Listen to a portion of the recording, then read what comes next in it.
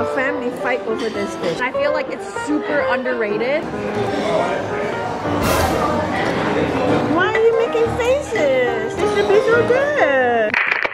Hi everyone! In today's video, we are doing trying every noodle and appetizer at Din Tai Fung!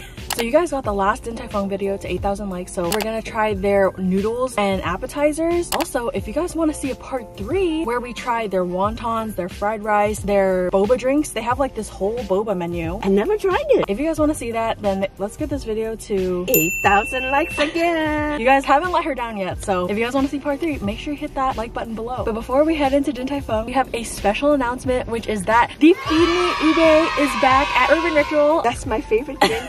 Mm, I've missed this. so good. Now that we have our favorite boba drink, let's head into Din Tai Fung.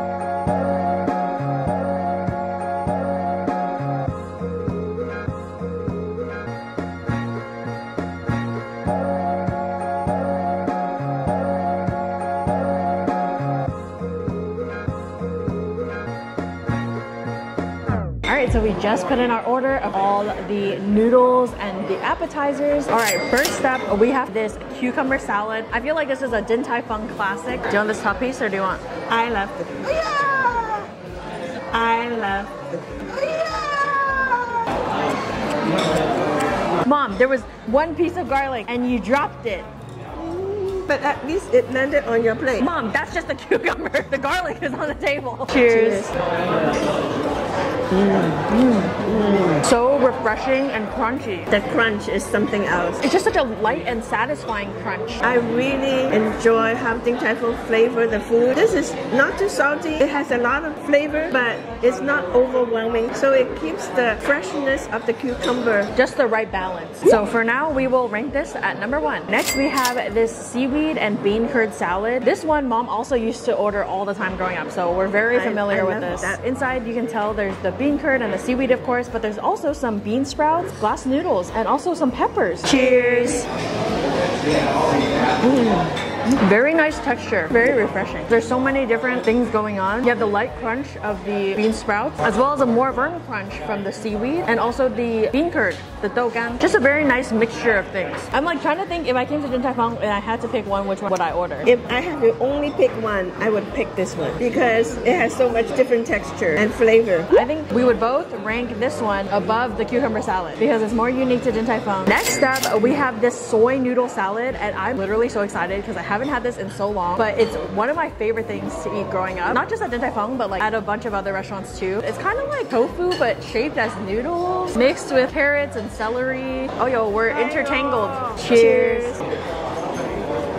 I haven't had that in so long, so that really hit the spot. But you know, I have to say, I feel like at some other restaurants actually better than this one. I agree. The one at Din Tai Fung, surprisingly, Not as outstanding. it's definitely more light on the flavor, almost like a little bit on the blander side. And also the soy noodle is not as crunchy as Mm-hmm. some of the other places we had. I felt that the soy noodle It's more is- bouncy. and it has a certain kind of crunchy mouthfeel to it. I'm gonna rank this in last place. I totally agree. So next up, we have this wood ear mushroom salad in vinegar dressing. I'm very curious because I personally really like wood ear mushroom. Cheers. Why are you making faces? This should be so good. Why are you making faces? It should be so good. I think it's that ginger, huh? I didn't know that was ginger. You guys know how I feel about ginger. It's my number one most hated food in the whole world. I hate when you eat something you don't know has ginger in it, like actual pieces of ginger. It's like different when it's just ginger flavoring or whatever, but this is actual like strands. It betrayed me. If I don't get any of the strands of ginger, then I think it's okay. I love ginger, but I think it's a little too sour. Because the vinegar dressing. Yeah, a little too sour for me. But I do like the texture of the wood ear mushroom. It has this nice crunchiness Crunchy. to it. I think it's safe to say I'm gonna put this one in last place below the soy noodle salad. I have to agree with you. Next up, we have these beautiful sweet and sour pork ribs. They're like so shiny and that. Caramelized. Cheers. Mmm. Wow, very strong flavor. I love it. Sweet, tangy, savory, definitely very meaty. But very tender meat. Not like fall off the bone tender, but pretty tender. I love the texture. Actually had a little bit of crunch on the outside. I I am gonna rank it above the soy noodle, but a little bit below the cucumber salad. I'm gonna put it right under the seaweed and bean curd salad as number two. Next up, we have this steamed soup with bone-in chicken. My friends just absolutely love this chicken soup. The broth is so clear. It literally kind of looks like water, you know? Cheers. Wow. It has some intense chicken flavor to it. It's very chickeny, for sure.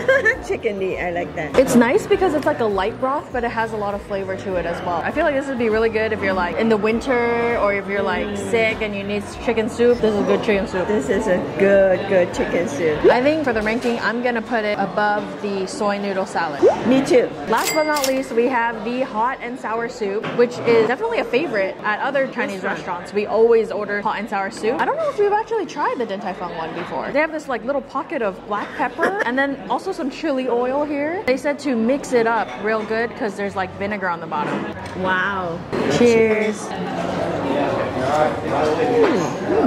You're making faces again. It doesn't really taste like hot and sour soup. Surprisingly, with uh, that much pepper and chili oil, it's actually the flavor is really light. I don't even taste any spice. I don't taste that pepper. I don't taste that chili oil at all. It's not hot and it's not sour. I know, I'm like, did I mix this enough? Because I don't taste the hot or the sour. And me and mom have had years of experience in drinking hot and sour soup. And this one, I, I don't think is up there with our favorites. No, I'm just gonna rank it right above the wood ear. I was thinking the exact same thing. Yeah. So these are our final appetizer rankings. Let's move on to the noodles. Yes. So for the noodles, there's a few like duplicate kind of items. There's a vegan noodles and spicy sauce, and a normal noodles and spicy sauce, and a vegan noodles and sesame sauce, and a normal noodles and sesame sauce. So we figured we would just order the vegan noodles and sesame sauce so we can try the vegan noodles, and then we get the normal noodles with spicy sauce. And then they have chicken fried noodle, shrimp fried noodle, pork fried noodle. It's pretty much all the same. It's just swapping out the protein. So we ended up ordering the shrimp fried noodles, and then we also got the Shanghai rice cakes with pork. All right. So first up in the noodle category, we have the noodles with spicy sauce. This is so pretty. The noodles are laid perfectly. You got the green onions and a little radish on top. Let's go ahead and mix it up. Now smelling it after we mixed Wow. it, I'm pretty sure this is the same sauce that they use on the wonton. Ooh, and that sauce is my favorite. It's so good. Cheers. Oh my god. It's that wonton sauce. It's so good. Perfect level of spice. Not too spicy, but definitely get kicked. And then just the flavor. Like that soy, vinegary-ish flavor in there. Tons of flavor. I could eat this whole bowl. Mm, this is so good. So right now we're gonna rank it in the number one spot. Next up, we have these vegan noodles with sesame sauce. And this one actually looks spicy too. Look at that. I know, Red oil. red. All right, let's mix it up good. Oh, you can really smell that fragrant sesame. It's coating the noodles so nicely. Cheers. Mm. Whoa. Definitely very strong sesame taste. That sesame flavor is so strong. It coats the noodles like completely. It's really overpowering. And it's also spicy too. Definitely has a kick to it. I also think with the vegan noodles, very good too. It didn't lose any of that great noodle texture. It's still very bouncy and chewy. Mm-hmm. And it goes super well with the sauce. If you don't tell me this is vegan noodle, I would not Yeah, have known it. Same. The noodles are equally good, I think. For the ranking, I think I'm gonna rank it second place under the noodles with spicy sauce. Same here. Next up, we have these noodles with diced beef and Sichuan peppers. And I didn't even know that Tai Fung has this dish. this dish. Let's go ahead and mix it up. You can see inside here there's diced beef, of course, as well as some dougan is in there too, the bean curd. And there's cucumber, cilantro, And pepper. Oh, and even edamame. Cheers.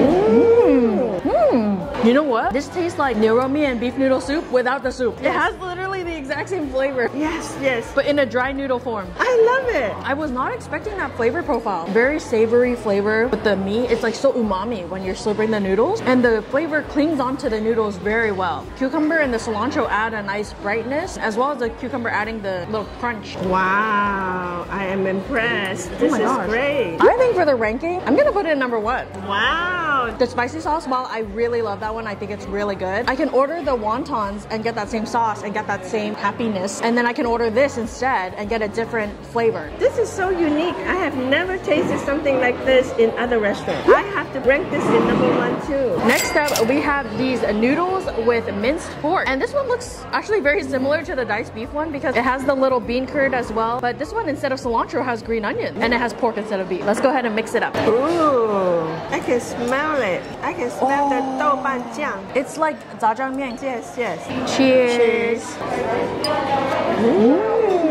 very flavorful zha jiang mian. It's super umami, and I think it's from that doubanjiang that you're talking about. Yeah, the bean paste sauce. It's really good with the minced pork. A very nice balance between the meat and the noodles and the vegetables. Bursting with flavors. Sometimes in jjiajangmian, the yes. bean flavor is too strong, but this one is not. It's the perfect balance. I totally agree. I think for the ranking, I'm gonna put it below the spicy sauce. I agree. We're actually very in sync on our rankings today. It Last is. time we were not no. that in sync. Next up, we have this sliced chicken noodle soup I think this is the classic Chinese restaurant chicken noodle soup. with the bok choy and the sliced carrots like that. Cheers. Mm. The noodles on their own. I mean, it's still very good. It has that nice chew, similar to the yeah. other dishes, the dry noodles we tried. But flavor-wise, it's kind of bland if you just have the noodles by itself. Yes, So yes. let me try some of that broth. It's kind of bland too. I mean, it has more flavor than the noodle.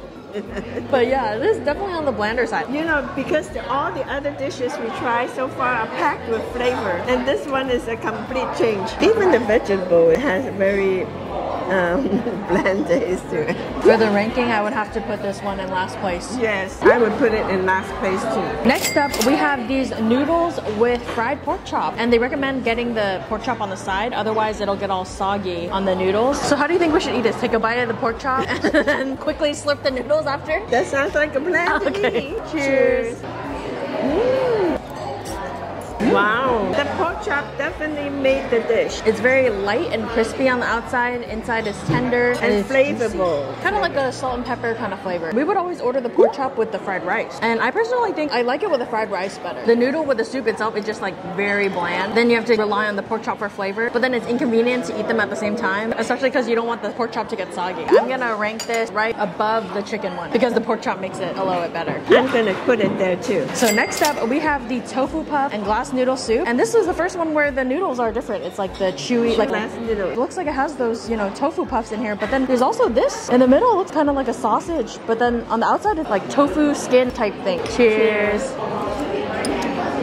I expected that noodle to be chewier. A little soft, huh? I like the tofu puff. Definitely has an interesting texture. It's like fluffy and light, but chewy at the same time. And it absorbs a lot of that soup as well. So you get kind of a nice burst of like soupiness. I think this one I would put between the chicken one and the pork chop one. I think I put it there too. How come I'm agreeing with you all the time Our rankings are like literally the same. And the dumpling one, our rankings are so different. Next up, we have the braised beef noodle soup. If you guys know me, you know I'm a braised beef noodle soup fanatic. Yes. When I was in Taiwan, I think I had beef noodle soup at least like 10 times in three weeks. So I'm very excited. Cheers. It's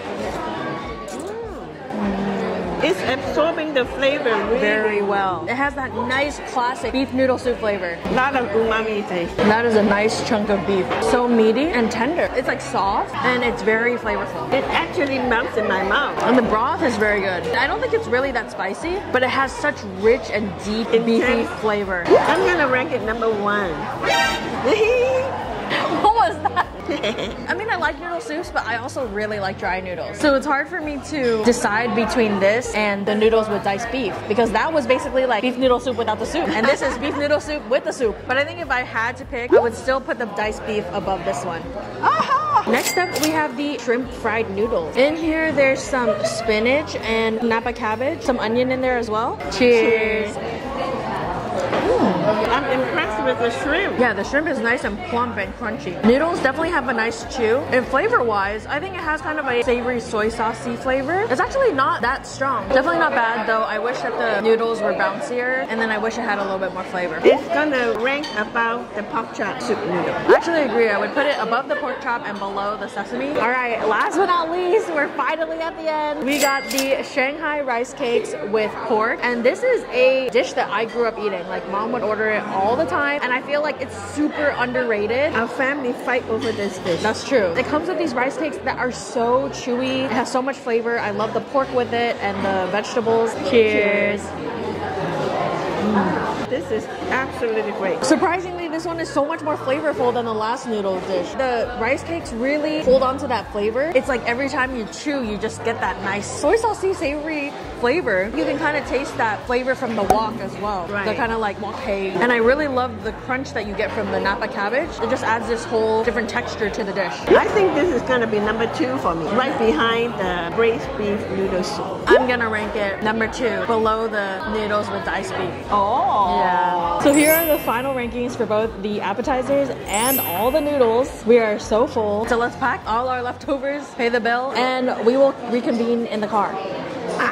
All right, so that's it for today's video. We are so full of noodles and appetizers. Also, don't forget that if you guys want to see part three with wontons, fried rice, boba drinks, you know, other things on their menu, then make sure you get this video to 8,000 likes.